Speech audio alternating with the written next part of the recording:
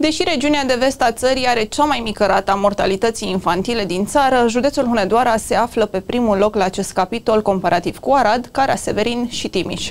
În județ, rata mortalității infantile este de 6,6 la mii de nou născuți vii. În acest sens, organizația Salvați Copii a reușit să sprijine de-a lungul timpului mai multe maternități, mame și copii, inclusiv din județul Hunedoara.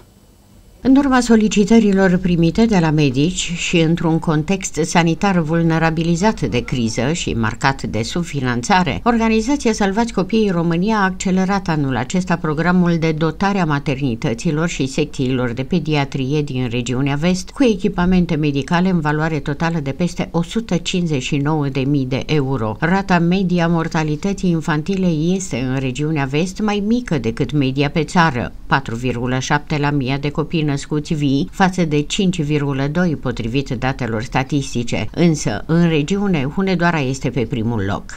Conform datelor oferite de Institutul Național de Statistică, pentru anul 2021.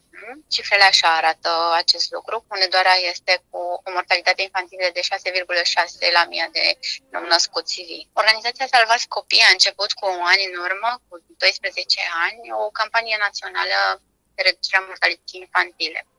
Um, în cei 12 ani de zile am uh, reușit să dotăm uh, multe maternități și mai nou secții de pediatrie cu echipamente medicale performante în funcție de nevoile uh, și solicitările venite din partea spitalelor.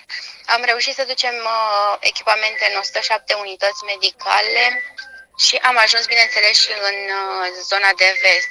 În regiunea de vest am reușit să aducem echipamente la mai multe maternități uh, în valoare de aproape 900.000 de euro. Acest lucru îl facem, cum spuneam și mai devreme, în urma solicitărilor primite de la medici. Pe lângă acest lucru, organizația Salvați Copii oferă și programe specifice pentru mamele din comunități, pentru că este foarte important ca mamele să fie informate că este nevoie să meargă la control în timpul sarcinii, astfel încât uh, cei mici să se nască în siguranță și să nu fie probleme, pentru că România are o rată a prematurității destul de ridicată.